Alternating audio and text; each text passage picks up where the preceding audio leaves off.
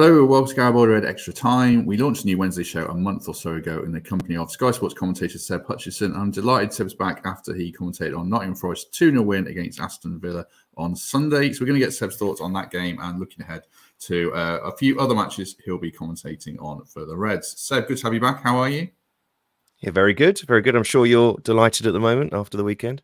I am, I am, and you got a lot of love at the weekend for not commentating over Mull of Kintyre. So uh, yeah, you, you you've ingratiated yourselves with Reds fans even more. So it's good to have you back on. Um, what did you make of the game from a, a, neutral's point of view? First of all, it's interesting. Like I'm, we were all saying Forest are brilliant, you know, best performance of the season, but I suppose there's always yeah. that balance between Forest are great, Villa weren't so great. What, what did you make of it?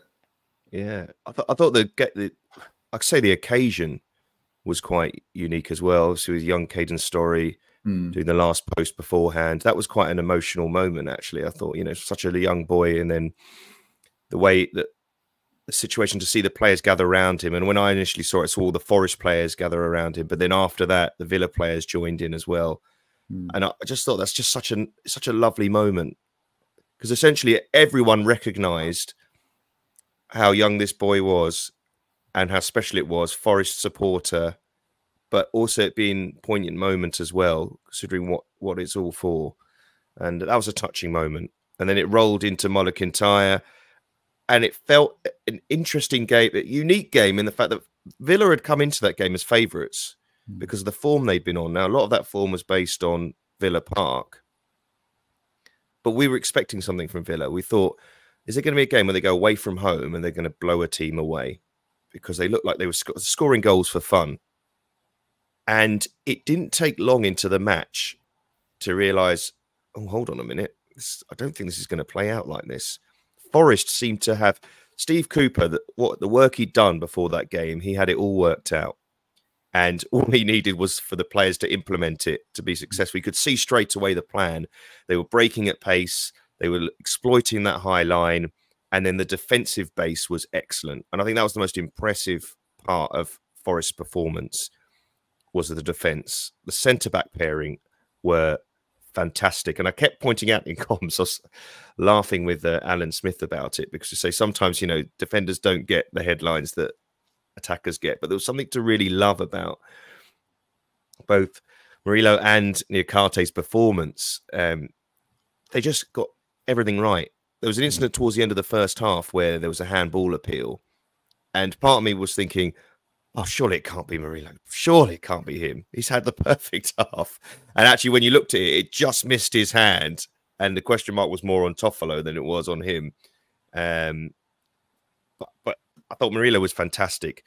Uh, but Niakhaté, again, he was right tight to Watkins when he needed to be aggressive, didn't give them any room. They headed everything away and they look like right now the centre back pairing. It'd be interesting to see what Steve Cooper does going forward because obviously the mix between the back three, the personnel, those two look like they just, they're going to go on a run in the side. You, would have to after those performances. I know Niakhaté got sent off the other week, but they have to play. I mean, it's like you know. Kenny Burns and Des Walker reincarnated as a pairing, not to get too over the top.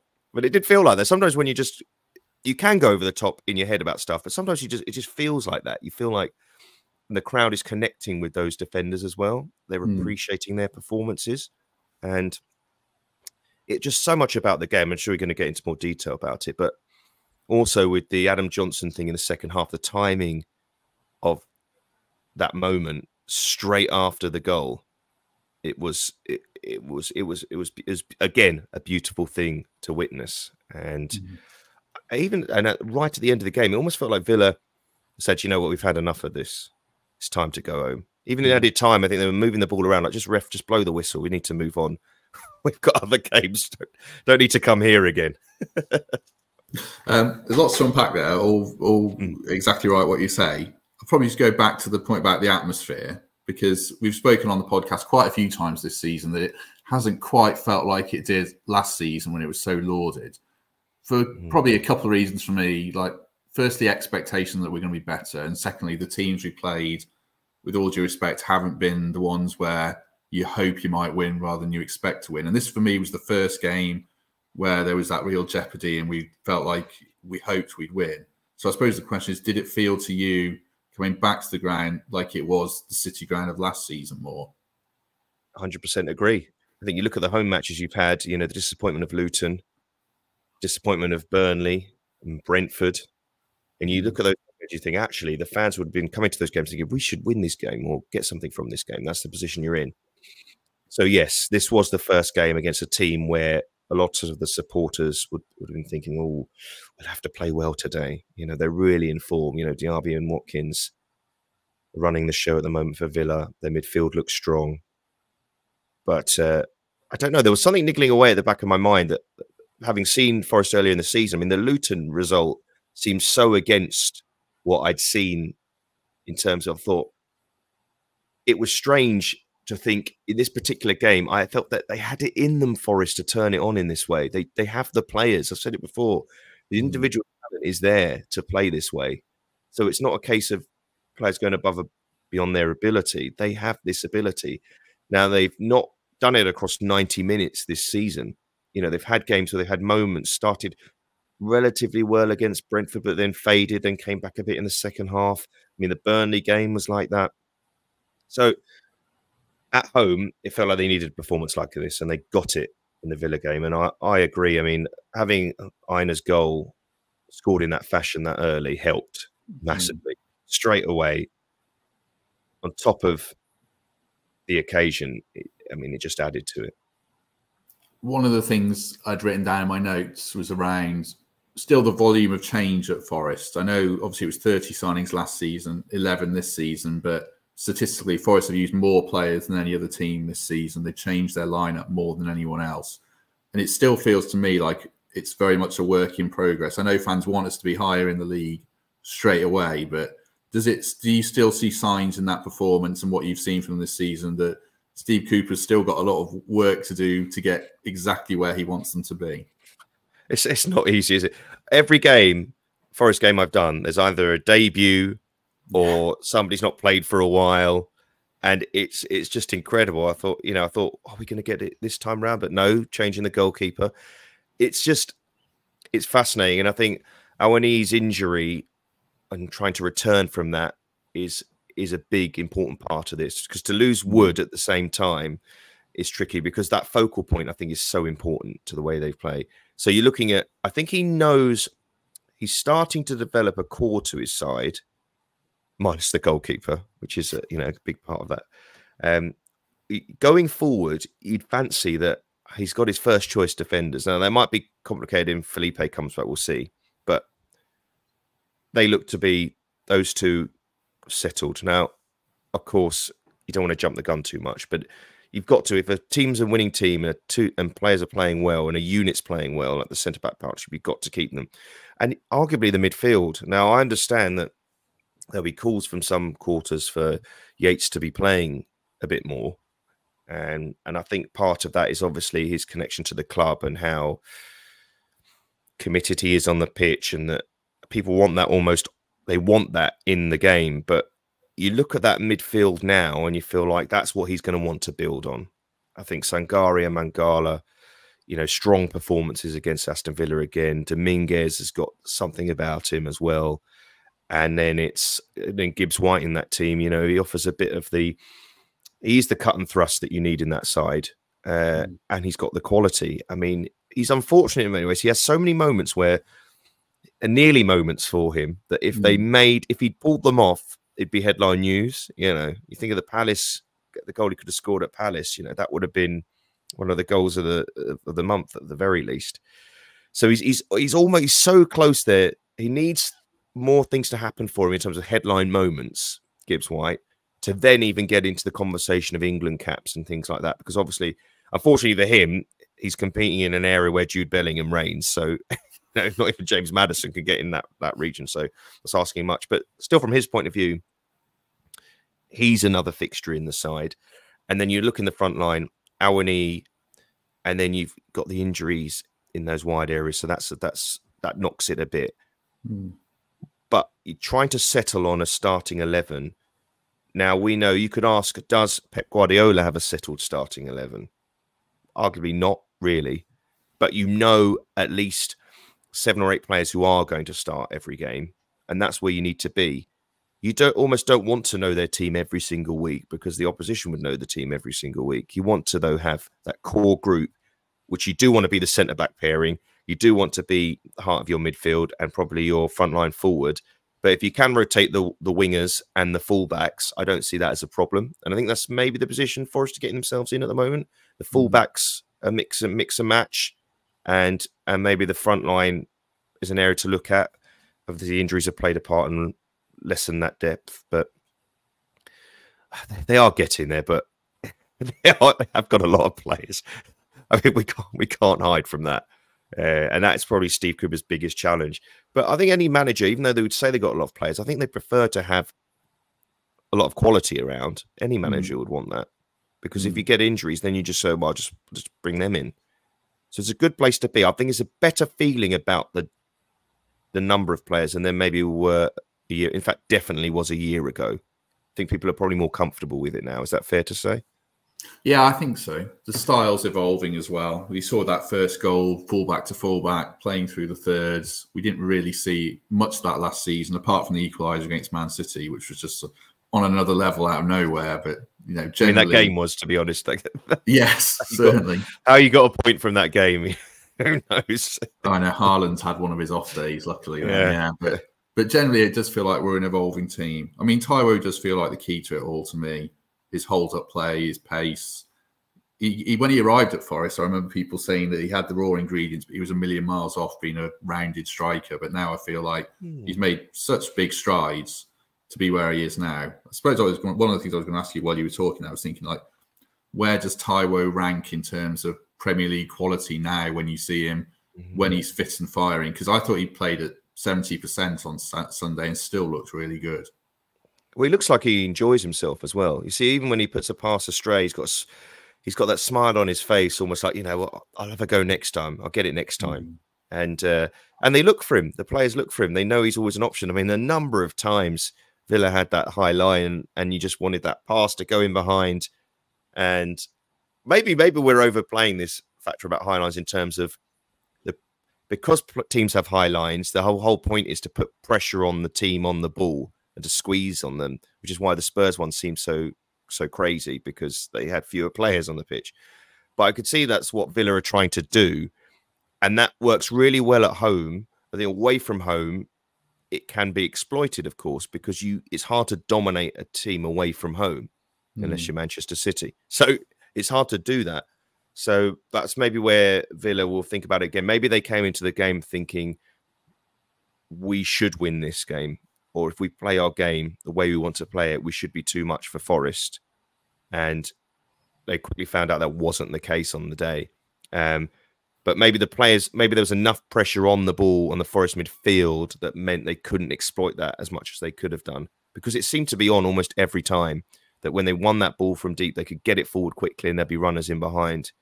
And, and they probably didn't exploit that enough, but they won the game ultimately. You know, that's part of it. But you were going to say, sorry, you're saying about Awoniyi in terms of other Premier League strikers. I think, again, you're saying what, where are you placing Forest in what category in the league?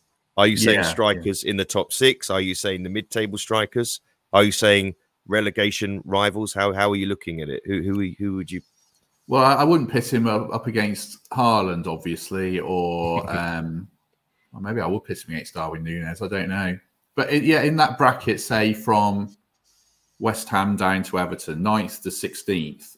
I mean, I feel like he's the best of them without thinking too much. I mean, Calvert Lewin when he's fit, maybe. I'm thinking off the top of my head here, but well, I, well, I would ask you, Calvin Lewin when he's fit, would you have him over Awoniyi? No, I wouldn't. Yeah. So Brentford have got Toney, obviously, when he returns. Yeah, and he I, he is elite, and I would say that. I mean, I think he should have go him. to an Arsenal or something like that. I, I, I, no disrespect to Brentford, but when you yeah, see him yeah. play, his all-round game is is above uh, a mid-table yeah. Premier League team. I mean, the problem is that if I look, I'm just looking now at the mid-table in the Premier League, and Manchester United and Chelsea are in there. So we throw. Yes. we well, definitely take up Nicolas Jackson. I mean, I've not seen a yeah, worse but... hat trick in my life. I think you know what I think it's a it's a fair shout because you look through that and you think Fulham need a number nine, Wolves need a number nine, West Ham arguably still need a number nine, Palace mm. have had issues in that trying to get trying to they could strengthen that area. So yes, I think it's a fair shout. I think Awoniyi even him being absent and even not fully fit, you can see his importance to the team. Mm. And and actually, he is in aside the way that uh, that Forest are playing, he is the perfect striker for that. I think at the moment because mm. he mm. can run the channels, he can hold the ball up, and he has to. I think, I guess, from his point of view, there's going to be an element of he has to be the battering ram sometimes, and other players might gain from him doing that. You know, Gibbs White might gain from layoffs and him flicking the ball on and things like that. Or other midfield runners, say D- Danilo when he's back fully fit in, in the first team, which is another debate as well. Mm. Where does Danilo? Where do you put Danilo? And who misses out for Danilo?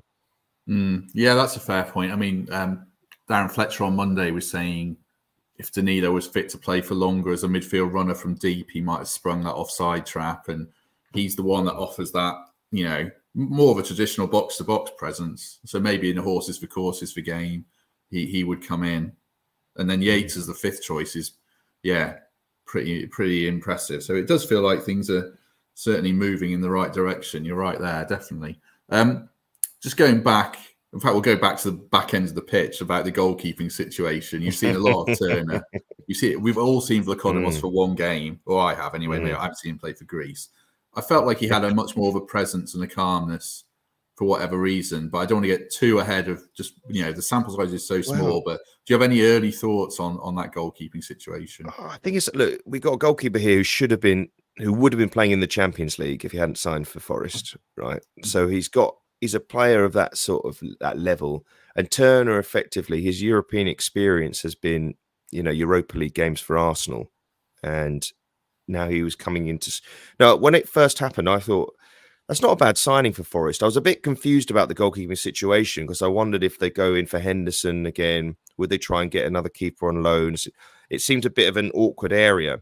Um, to me, Vlachodimos seems like he seems more of a number one than Turner at this, mm. this point in time, and he didn't it's always difficult for a goalkeeper's first game because there's always going to be an element of nerves. And I was actually surprised that the they didn't play it back to him a bit more often. But I think that's because the game plan for Forest was to get the ball forward quickly. There's no sense of building from the back or anything like that. It was get it forward quickly uh, to, to exploit Villa's high line. So he never he did didn't maybe get as many touches as he would have liked in the opening 10 minutes or so.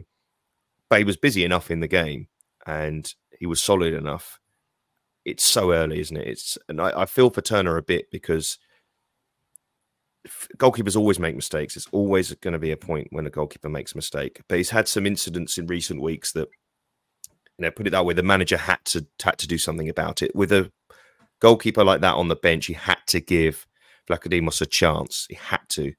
So, you know, the the error last time out for Turner, and then obviously don't forget the he's probably should have conceded a penalty against Brentford. Um, mm.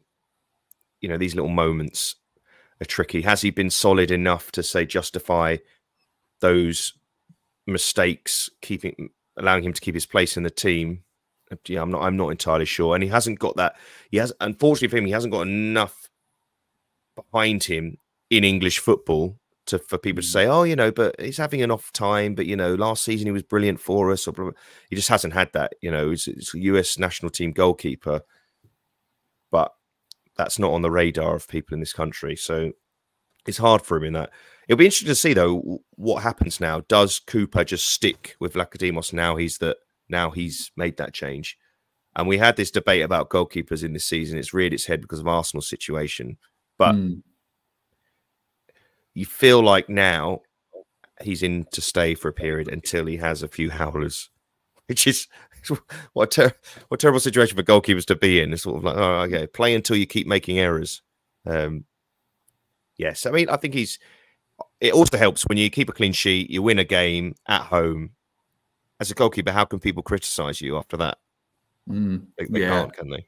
No, I agree. I feel like he's he's the number one now like even we see like us you mentioned Arsenal, like David Raya hasn't looked amazing, but you feel like he's Arteta's man and he's made his bed and now he's going to lie in it. And I think it feels like the same with Vlachodimos or Vlachodimos. I hear you saying I've been pronouncing it wrong. Yeah. Um, Do you know what? It's it's just that I talking about pronunciation of, of, of a name like that. Now, ultimately, I always say to myself, look, you're never going to be 100 percent because I'm not Greek. yeah, mm. and I'm not him. So actually, in a weird way, it's a slight it's a slight stress change. Even the way you said it there to the way I said it, it's subtle. You mm. say Vlachodimos, Vlachodimos. It's, mm. There's there's not much in it. So any accent, if I but I and commentary, I always say this: trying to force an accent onto a name to make it as authentic as possible affects your overall commentary. Mm. It makes it it makes it sound strange because most of the players, you know, I'm not a native speaker in any of those languages. So if I'm adding an accent to a name, part of it's going to be offensive. Some people are going to say, "Oh, you're doing a good job at trying to do it." Most people are like, "What's he talking about?" Or oh, "I don't understand him. I've lost him." Give an example. If you know, just name that springs to mind because you know Santi Cazorla. If I was to try and attempt to say Santi Cazorla, you know, yes, and put yeah. that into a commentary, now I might be having more of an attempt to to nail it in a Spanish accent and pronounce it correctly, but actually, it's difficult. You need to be in tune with the rest of your speech as much as possible. So you're trying to be as phonetically correct as possible, but also not force yourself out of it too much. Um, mm. Actually, interestingly, the striker, so Awoniyi is an inter- interesting situation because I work for the Premier League and a lot of Nigerian people, when you work games like that, they come to you and they, they'll say, Oh, can, can you say it like this? Everyone in England says uh, Awonyi. Everyone in England says Awonyi. It's mm. Awani. It's like a double E at the end. Mm. And when it's like that, you'll be like, you know, that's fine. I can do that. That doesn't change my accent to go Awani. You know, if it, mm. but if there's more of a difference in that, then that might change it. And um, it's it's an interesting aspect of commentary. It definitely is pronunciations because whatever way you do it, somebody's going to be annoyed.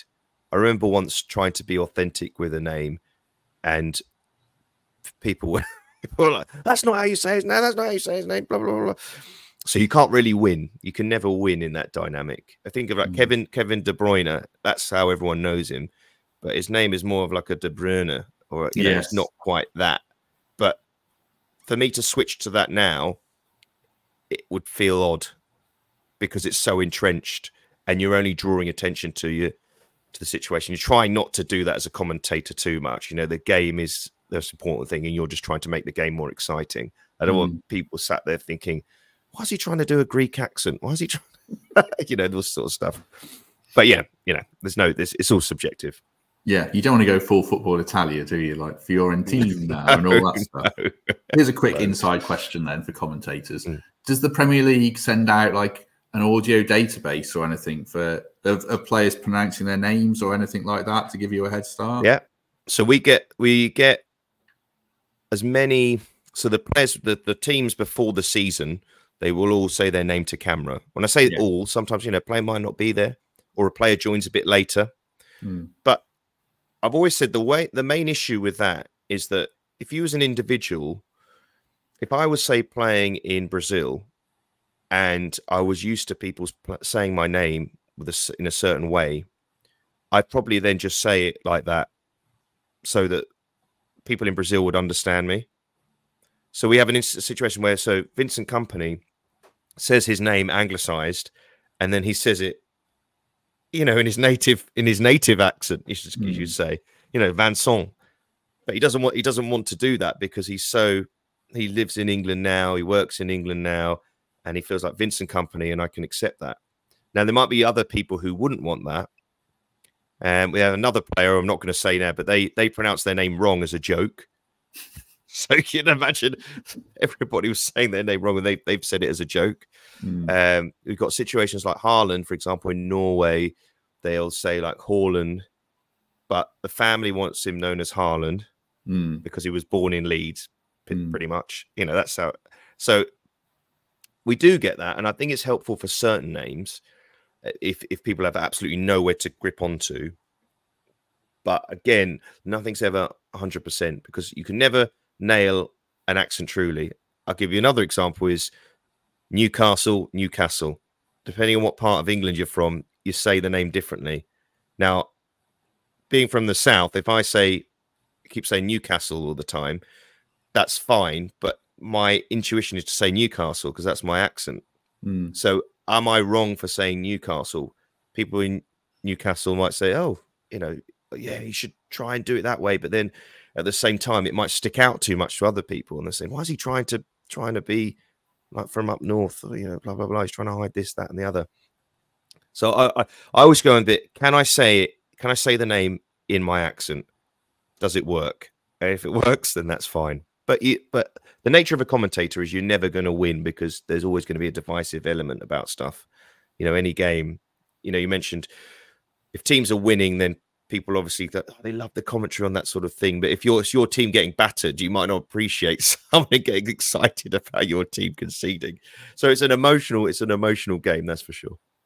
Um, just quickly, continue loosely on the theme of names. Then um, we're probably all saying Murillo wrong. It should be Murillo or something. But um, I've got. I'm totally convinced that he's going to play for an absolutely elite club in the next five years.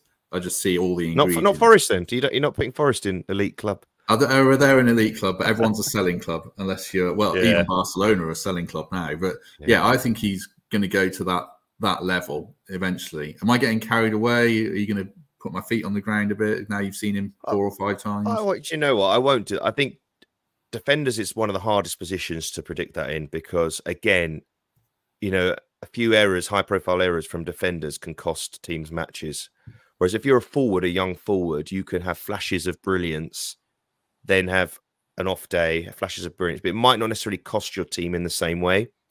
Murillo, you think he could play next week, he could have a blinder, and then, like you said, he handles the ball, it's a penalty. He misplaces mm. a back pass. He misses a, a header, whatever it might be, and then he's in the spotlight. And defenders often mature later on, and because they learn, it's about consistency of performance for centre backs. Mm. So when you have centre backs who stand out, say Saliba at Arsenal, being a, a young defender, that's when people maybe do go over the top about those players and think, oh, this is special because for a centre back to be this good at this age is quite something. So that's why I'd say you're not wrong to get excited about Murillo because he is standing out and it's only a handful of matches, but he looks like he has the tools. And I remember speaking to a Brazilian journalist about this, Corinthians supporter, and she was saying they were, you know, they were they were gutted to lose him really. And they think they could have held him on for a bit longer, maybe got some more money from him. But also he felt like, oh, we got a real gem here. And they just didn't get to see him enough. Mm. And it's almost obviously Forest and he's like I'm not saying they're saying he's one of their own because he's from Brazil, but there's that sentiment about it. Oh, we got this young defender who's going to come through at Forest, and the Corinthians supporters are like, no, no, no, he's ours, he's ours, and that's always a good sign when you see the way the mm. selling club fans behave about when they see a player go. You know you're onto one, mm. and his timing as well to come into the team where I think the centre back partnership has never really been properly sorted. Um, and you look at it and you think now is it sorted? You know, McKenna sat in the stands, Worrall's not involved. You think, are these players actually? Is Joe Worrall going to really get much of a look in as it goes forward? Is he going to be because centre back subs? How often do you have centre backs coming on and subs unless there's an injury or or you're trying to mm. see out a game? That might be mm. Worrall's role. Um, yeah, yeah, it'd be yeah. nice. I I think you know players like Worrall and Yates you want I think you keep them in the squad as long as feasibly possible. Hmm. Even if they get you bring in superior players, just having those players who understand the club in the mix is so important. And hopefully they can help Dante Murillo so then he feels I'm Forest now. This is my team now. And when the bigger guns come calling, then you can either go, you can either say, well, he's now worth 200 million, or make it difficult for him to want to leave and he stays on that extra season. Um, mm. You have to be doing well for that. But yeah, yeah. He's, he's, definitely a, of the younger players. He's probably well, he could be the most excited one, exciting one. I'd say of that team. Yeah, I think the reasons there's a few reasons that he stands out to me. Firstly, obviously he showed that quality at Palace, and it's all Razzmatazz that run, those pinging those balls. But more so, the Villa game, there was none of that. He was just an excellent defender. I thought that was spot on. And then little things like you mentioned Worrall, he had made a massive rick against Luton, and Murillo was the first one over to him, showing some maturity and leadership. So I just see all those signs. And he made a rick against Liverpool. You mentioned he he made that run into midfield, and you can argue quite rightly that Boly and Niakhaté should have covered him better. But it, for me, it wasn't the right time to do it. But he didn't didn't affect him, and he put in that performance against Villa. So yeah, I think you're right. And and Brentford as well. You think the back the, the back end of the Brentford game when you're down to ten? Yes, and he's just trying yeah. to see get a yeah get a point in that game. He was he dug in and he looked. I think that's what's special about him is he he enjoys all the facets of being a centre back. Mm. So he likes to go on the runs, but he enjoys the defending, and he seems Yeah. to be. That's such. I think for a centre back of that age, that is such a good sign that they're concentrating because, like I say, you can get all excited and, and wander about and think you're imperious and you've got something over it, but it's that one error at the back that's going to cost you. So Mm. concentration is the biggest aspect of, of centre half play, having you know viewed it. Yeah, and I think you're right about Ryan and Joe as well. Steve Cook was on on here. I think it was over the summer talking about you know the importance of having them in the squad, and obviously the team probably is moving in a different direction. That they're not going to be regulars necessarily. I still think Yates is going to play a lot of games, but perhaps more so Joe. But like Worrall's very durable. He's probably touchwood the only defender that doesn't get injured. So there's definitely to room for him to be in the squad. And uh, I, I like Toffolo coming into that bracket. I know he's not mm-hmm. a Forest through and through, but he's posting videos of his kid on Twitter singing "Mull of Kintyre" in the kit, and yeah, he seems like a good bloke. That's one of the things. Can I say something about Toffolo? Because I find it fascinating that obviously you beat Huddersfield in the playoff, you go for the double swoop, the Huddersfield players, and that felt right at the. It felt like, okay, I see what you're doing there, but because of the number of signings in that window, it it started to feel. What was the point in those two signings? Mm, That's what it felt like a bit, mm, and he's almost obviously he's got the off the field issues, but having come back into the team, come into the team now, and he feels like that Cooper wants wants to have him in his side. mm, And again, he thought he was very good in in you know he's been very good in these recent games. And you know, Aina having to switch to the other side, we know Aina can play on either side of that. It's again really useful. We know that Aurier's had a you know a rebirth in the Premier League playing at Forest. So it's in and I mean I was, I've got to say I, I was shocked with uh in the the Burnley game to have a, a World Cup winning right back who scored the winning penalty in a World Cup, and for him to be that poor in that game, and that was quite Yes. shocking. like, I his injury, his injury is quite timely because I wonder if he was fit, would he even be playing anyway? Is there mm, pressure to play him? I don't know. mm. He might struggle to get into the team when he's back. I think that Yeah, there's a few what's the point signings like Andrey Santos. Uh, obviously, they signed Sangaré and Dominguez after him, and yeah, he doesn't look like he's going to get a kick. And like you say with O'Brien, but I think this is one of Cooper's great strengths. So having to all these players, and they still look like a team. I mean, I don't think there's many hmm. managers that will be able to keep all these players happy for this long. Obviously, he's shipped out Dennis and Shelvey and Mm. shown a ruthless streak there, but I think his man management. That's why I think he's such a good manager. Really, tactically, he can point at a few things, but I hmm. think Forest, you know, as long as they keep Steve Cooper this season, I know some fans will disagree Oh, with this, but I think they'll they'll be fine. I think the, the curve is only upwards with him Definitely. still. Definitely, I think, and I know there was even before this Villa game. If they'd had been on the end of a heavy defeat again, he would have come under a lot of pressure. I Mm, think that's unfortunately. I think that's the, the power of the Luton result has had a lot of power in recent. It, it's it's a because to be in the position you're in to throw it away to Luton, who everybody's expecting to go straight back down with not many points, but they've they themselves have proved that's not the case. Actually, they'll fight till the end and they'll pick up Mm. points when they can. Um, I I- think that has a big bearing on all of this. That's how it felt. Um, you know, you write off a trip to Anfield in many ways. You, you know, you move on from that, and they've had some really difficult away games this season as well. Forest, you think about that run, and but all those teams have got to come to the City Ground, and last season they all struggled there pretty much. So mm, let's see if it happens again. And they're probably arguably Forest are a better team now than they were Mm. last season. So can they build on that? The flip side is teams know that now. They know how Forest are going to play. But I think Forest have I said it last time about the Brentford game. They've got an element of Brentford about the way they play, in that they have the tools there to trouble the top teams. You know, there's a lot of power in that team, there's a lot of pace in that team. They've got a good effect. They can could counter pretty well. And whether they've got the ability against teams that might sit off them a bit is a different matter. And that's probably reflected in the results, the, the lack of wins against those teams, a lot of draws in those games. And that's probably where Forest are. Do they prefer to play teams that on paper look better than them? That'd be quite interesting to see by the end of the season if they pick up more points against teams above them than below them if they finish in mid table, of course. mm. That kind of leads into the last topic, which is the last 10 minutes or so around better teams, tactics, high lines, just the evolution of the game. I mean, we saw Spurs v Chelsea was mental. I hated the first half, to be honest, because the ball was never in play. But I love the second half mm. with the mad approach from Postecoglou. I think he's great. And I'll ask you about Postecoglou in a minute. But just mm. in general, do you see, you know, every season the game evolving from your commentary position with inverted fullbacks, crazy high lines, it feels like the game's always changing, getting faster to me. Yeah, it just keeps going in circles. Football. That's how it feels. Players are obviously get a fitter, stronger than they ever have been, and there are many people who say that takes away with a, away from the bit of the magic of the game. You know, the old school number tens, the players that have time on the ball. Everything seems to be in a rush now. Again, unless you're Manchester City, who sometimes find the time to to do things but everything seems to be in a in a rush now. Everything's played at a, such a high tempo, and those one those subtle things can can can.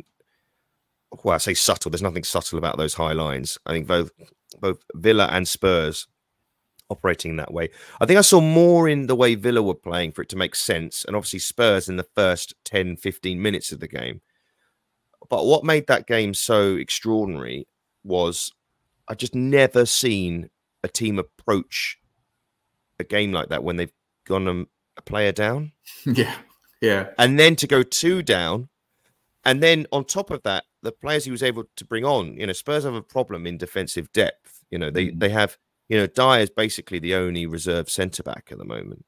You know, they'd have to bring in uh, the, the youngster Phillipsen. So that's so, but they so they bringing him on, bringing in players to have to be makeshift centre halves as well against a team with extra men on the field and a team with pace up front as well. I mean, I, I, I couldn't believe in the second half, Mudryk, I, I, could not believe how he didn't wasn't able to exploit it more than he, oh, he, than he, than he did. Yeah. It, it was it was incredible. Yeah, I just thought I just found it astonishing. It was almost like I think maybe Chelsea were just shocked. Mm. It was like I cannot believe that you know in, in your situation with it. This is oh my god! I got the freedom of got the freedom of Tottenham Stadium. What is going on here? And it took them a while to click. So obviously, towards the back end of the game, they were getting in, and the goals were scored. I mean, one of the look, you still look, you still have to give credit credit to Jackson for finishing the chances off. You know, still have to put the ball in the net. But as a striker, I mean, you couldn't wish for a better situation mm. to be in. And he's probably actually sat there thinking, I could have had five. Um, so yeah, yeah, he could have done. Yeah, I mean, I think Chelsea. I don't think you can read anything into that from Chelsea's point of view, except for their the fact that at the start of the game they because Spurs came flying out the block, so maybe we were a little bit over eager. Certainly, it was funny. Uh, Doggy and and Romero both went flying into a couple of challenges, and you know, there's an argument they could have gone earlier, both of them. And there was that energy about Spurs, and you thought, are Chelsea going to be able to resist this? Went behind, and they fought back quite well, Chelsea, actually. Uh, and that was where the credit was. So it would have been interesting if Spurs had kept the players on the pitch. We could have ended up with a sort of 4 4 game. Um, mm. So it's impossible to know. But yes, you're right. The first half, it was really, it was broken up so much. I mean, VAR, as a commentator, I have the, the video assistant referee in my ear whenever they speak to the referee. And John Brooks was in my ear constantly, all the time, checking absolutely everything. And I think mm. this is the, the effect on officials because they don't want to be in a situation what happened to Darren England. They don't want to be in that position again. So they're mm. over checking almost everything. There were so many things off the ball. Oh, just checking, checking this chat challenge, checking that challenge. And how many disallowed goals were there in the game? It was unbelievable. But then you think if you take VAR away, how would that have played out? And mm. maybe also VAR is playing a part in the way teams are playing because if you're playing a high line, you knowing that VAR is there, you can play on that edge because you think you could maybe VAR can save you by playing that high. If you play a high line without VAR, you're all, always at the discretion of the assistant, aren't you? Mm. And you're playing that aggressive approach. You might several times get that wrong quite a lot. And you think Chelsea had goals disallowed for offside a few times, but maybe maybe they would have they would have scored more goals without VAR being there. That's the situation. And yeah. to take it back to what you were saying, you know, the general change in the game. I think you'll always have different varieties and different approaches to football. And I say that if you look at Kompany and you look at Maresca, in a situation where if you've got the best players in the league and you want to mirror style, so then they're I wouldn't say mirror, but their their influence is is Pep Guardiola. I, I my belief, having seen it play out, is you can only attempt that style if you have mm. players of the level required. Mm. If you don't, you have to adapt mm. because when I think of when City have fallen foul in recent years, maybe not last season because they were imperious, but they often there seem to be two things. Either a team had slightly better players doing better things in a better moment.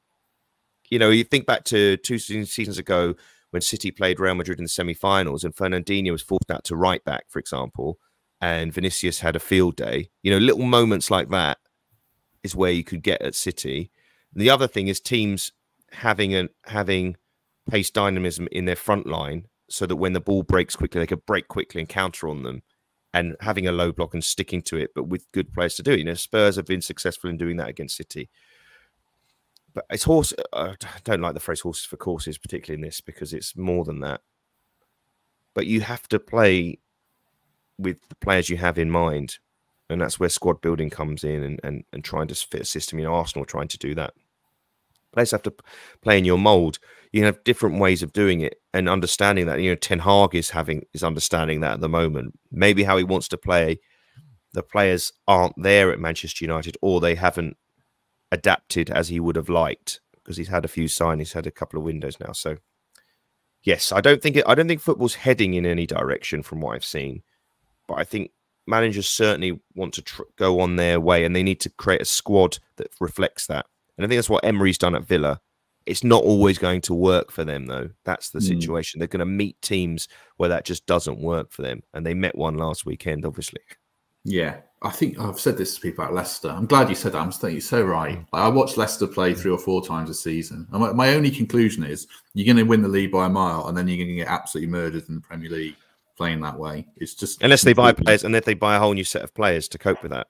Yeah, which Burnley haven't been able to do. No, and no. you can see Burnley. You can see Burnley struggles. I've done a few Burnley games this season. You can see the problem they're going to have because actually Luton's way might bear more fruit now, Luton mm. don't have as much quality, even as Burnley do, but they understand their assignment. Yeah, and who they're facing. You know, they get the assignment. You, you need you need a quality of player to stay in the Premier League, and I think all the three that have come up don't have that quality to mm. be anywhere remotely think they're going to be comfortable, and they're going to struggle be against it. Look at Bournemouth; they've got the same situation. New managers come in. There's a style he wants to play, but maybe the players aren't aren't what's required. Not necessarily quality, but aren't adapted to that style just yet. And will he get the time to ever get that to that point? Pro- probably not. No, I think you're so right. Like Sheffield United, the only goals they score are absolute screamers or penalties. I haven't seen them score anything else, and that's not sustainable. I actually think Luton are the best of the four to stay up because a long ball yeah, in the yeah. box is a long ball in the box, and I admire like I think Doughty is decent and Morris is decent and they're organised. I think Edwards is a really good coach. So if I had to pick one of the four, unless Burnley sack Kompany, then I would, yeah, they I would say Luton have the best shot. Yeah, but if Burnley sat Kompany, then it's uh, the new manager comes in and wants to change the style. Are the players able to do that? Because he has been bringing in players, yeah, to play in that way. It's not it's not easy. I think it's difficult for them. But of course, as a Forest supporter, this is music to your ears because it means mm. the chances of you going down are are very slim at this point in time. Mm. And actually, does that give you a cushion to think, right? Okay, all right, let's uh, let's make a push for the what, what West Ham are trying to do and what Brentford are trying to do, and who knows what Brighton are trying to do. You know, mm. you need that base. You need to feel relatively comfortable in the Premier League to then push on. I think mm. to have the confidence to go again in terms of just the ownership saying, right, we're going to go for this type of player now uh, to give that base. If you're not sure, if you think we're going to get sucked into a relegation battle, then it's hard, isn't it, to to to ever have that feeling of comfort. Not that you ever get that in football, I guess.